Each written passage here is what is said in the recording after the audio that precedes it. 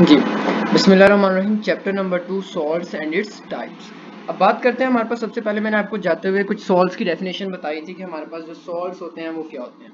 तो सॉल्ट्स उस दिन भी हमने किया था कि salts are ionic compounds generally formed by the neutralization of acid with a base कि सॉल्ट्स क्या होते हैं कि आयनिक कंपाउंड्स होते हैं, जो कि क्या होते हैं न्यूट्रलाइजेशन ऑफ़ एसिड और बेस से बनते हैं।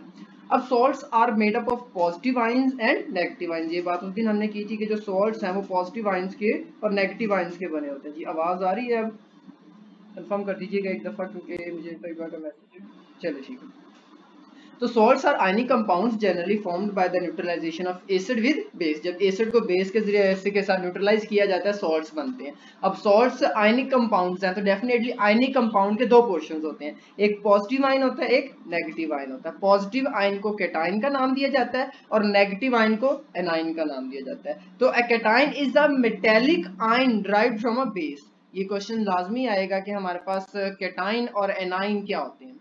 तो a cation is a metallic ion derived from a base therefore it is called a basic radical तो क्वेश्चन आता है कि बेसिक रेडिकल और एसिडिक रेडिकल में क्या डिफरेंस है? तो a cation is a metallic ion derived from a base therefore it is called basic radical. के एक cation को हम क्या करते हैं? बेस मेटल uh, होती है जो कि base NaOH या uh, CaOH यहाँ से ड्राइव करते हैं। तो यहाँ से NaOH से जब सोडियम निकलेगा तो ये सोडियम क्या कहलाएगा? बेसिक रेडिकल कहलाएगा। इसी तरह वाइल एनाइन जो होता है, वो कहाँ से ड्राइव किया जाता है? एसिड से ड्राइव किया जाता है। फॉर एग्ज़ाम्पल एच में से Cl नेगेटिव जो आता है, वो क्या है? एनाइन है। और वो क्या कहलाएगा? एसिडिक रेडिकल कहलाएगा। तो ये बहुत इंपॉर्टेंट क्वेश्चन है कि बेसिक रेडिकल और एसिक एसिडिक रेडिकल में क्या डिफरेंस है।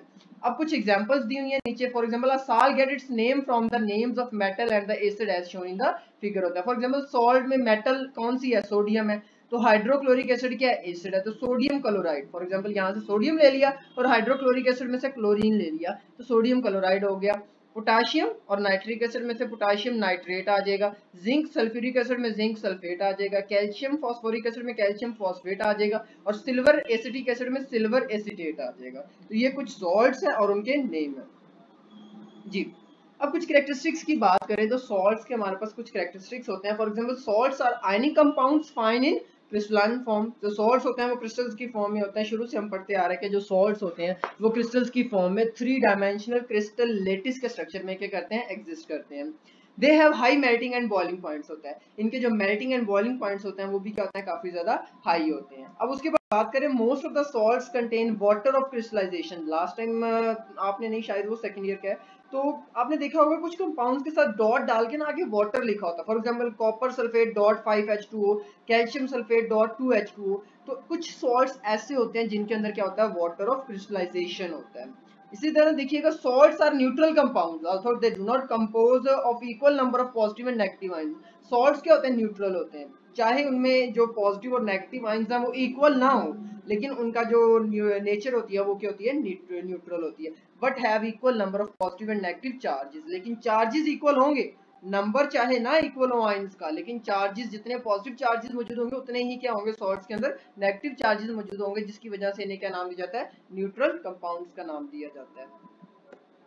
आगे देखिएगा हमारे पास अब सॉल्ट्स की जो प्रिपरेशन होती है। सॉल्ट्स की जो प्रिपरेशन होती है, ये दो तरीकों से की जाती है। दो तरह के हमारे पास मेजर सॉल्ट्स होते हैं सोल्यूबल सॉल्ट्स होते हैं और इनसोल्यूबल सॉल्ट्स होते हैं। वो सॉल्ट्स जो पानी के अंदर डिजोल्व हो जाते हैं, वो क्या कहलाते हैं? सोल्यूबल सॉल्ट्स कहलाते हैं और वो सॉल्ट्स जो पानी के अंदर डिजोल्व नहीं होते, वो इनसोल्यूबल सॉल्ट्स कहलाते हैं। अब सबसे पहले मेथड पढ़ते हैं कि हमने अगर सोल्यूबल सॉल्ट्स को प्रिपेयर करना है तो उनकी जो प्रिपरेशन के फाइव जनरल मेथड्स इस्तेमाल होते हैं। प्रिपरेशन ऑफ़ सोल्यूबल सॉल्ट्स सबसे पहला मेथड होता है by the reaction of an acid with a metal जब कोई भी एसिड मेटल के साथ रिएक्ट करेगा तो क्या बनेगा? सॉल्ट बनेगा। शुरू पे याद कीजिएगा reaction of metal with acid हमने पढ़ा था एसिड की प्रॉपर्टीज़ के अंदर। तो यहाँ पर भी देखिएगा, जब एसिड मेटल के साथ रिएक्ट कर रहा है तो सॉल्ट बन रहा है प्लस हाइड्रोजन गैस यहाँ से क्या हो रही है? एलिमिनेट आउट हो रही है। इसी तरह देखिएगा by the reaction of an acid with base जिसे हम न्यूट्रलाइजेशन रिएक्शन कहते हैं तो वो भी तो हम क्या बना रहे हैं? सॉल्ट बना रहे हैं। तो वो भी एक क्या हुआ? प्रिपरेशन मेथड हुआ, जिसमें एसिड जो है, वो बेस से रिएक्ट करता है और क्या बनाता है? सॉल्ट बनाता है। इसी तरह आगे देखिएगा, दो समझ आ गया आपको, यहाँ तक reaction of metal with acid reaction of acid with base आगे देखिएगा, by the reaction of an acid and metallic oxide ये भी आपने पढ़ा होगा कि जब मेटेलिक ऑक्साइड एसिड के साथ रिएक्ट करेगा सॉल्ट बनाएगा प्लस क्या बनाएगा? वाटर बनाएगा. तो H2SO4 plus CuO copper oxide metallic oxide है. रिएक्ट करता है क्या बनता है? कॉपर सल्फेट बनता है प्लस क्या बनता है? वाटर बनता है. इसी तरह by the reaction of an acid with the carbonate ये भी रिएक्शन पड़ा हुआ कि जब एसिड जो है वो कार्बोनेट के साथ रिएक्ट करेगा तो क्या बनेगा? सोडियम नाइट्रेट बनेगा प्लस क्या बनेगा? वाटर बनेगा प्लस क्या बनेगी? कार्बन डाइऑक्साइड बनेगी। क्लियर यहाँ तक ये रिएक्शंस थे प्रिपरेशन ऑफ़ सॉल्युबल सॉल्ट के। जी, यहाँ तक अगर किसी को कोई कंफ्यूजन हो।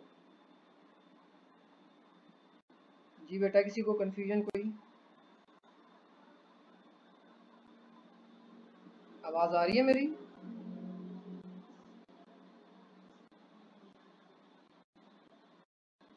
हेलो।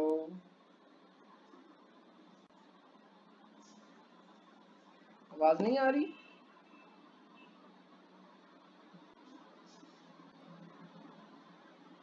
हेलो। चलो मुझे रिस्पॉन्स तो दे दें काइंडली ओके okay, यहाँ तक किसी अगर क्वेश्चन हो कोई तो मुझे पूछ सकते हैं अगर। कोई सवाल यहाँ तक यहाँ तक हमने जो मेथड्स पढ़े थे, वो थे प्रिपरेशन ऑफ़ सोल्यूबल सॉल्ट्स के।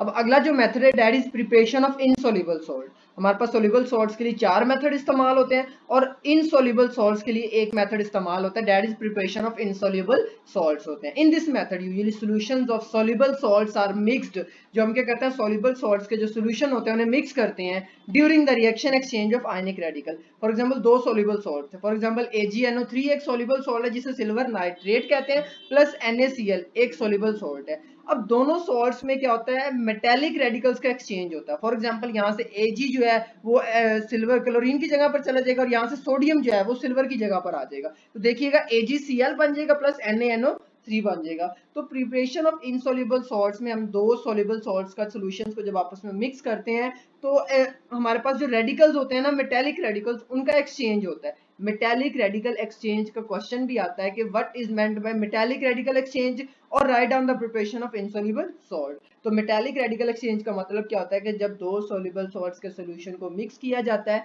तो उनके जो रेडिकल्स होते हैं वो आपस में क्या करते हैं एक्सचेंज करते हैं ताकि और दो नए सॉल्ट्स बनाते हैं। फॉर एग्जांपल AgNO3 और NaCl को मिलाया तो आपके पास क्या बना? AgCl बना प्लस सोडियम नाइट्रेट बना। तो ये दोनों क्या है? वाटर में इनसोल्यूबल है। इसी तरह sodium carbonate plus copper sulphate ये दोनों सॉल्ट्स हैं। दोनों सॉल्ट्स को मिलाया तो कॉपर की जगह पर सोडियम और सोडियम की जगह पर कॉपर आ जाएगा तो देखिएगा कॉपर कार्बोनेट बना प्लस सोडियम सल्फेट बना। और ये दोनों भी क्या है? इंसोल्यूबल होते हैं और ये सॉलिडिफाई होकर सोल्यूशन में नीचे बैठना शुरू हो जाएँगे, जिससे क्या होगा कि इनके प्रेसिपिटेट्स बन जाएँगे। पल्ले पड़ी ये बात। Preparation of insoluble salts clear हो गया आपको? जी, माहिरा एंड रेहाना कौसर, आप भी बता दीजिएगा कि प्रिपरेशन ऑफ़ सोल्यूबल और इनसोल्यूबल सॉल्ट्स क्लियर हो गया आपको? चलें ठीक होगा अगर यहाँ तक आपका कोई क्वेश्चन है तो पूछ लें, अगर नहीं है तो इसको बुक से रीड कर लें, मुझे बताएँ ताकि फिर हम आगे चलें। यहाँ तक हमारा टॉपिक था थैंक यू सो मच सुनने के लिए मुझे इतना। अब बायो शुरू करते हैं और साथ में कंप्यूटर भी रिवाइज कर लेना, मुजम्मिल आप। इसको एक दफ़ा देख लें, अगर कोई सवाल है तो आप पूछ लें मुझसे जल्दी से।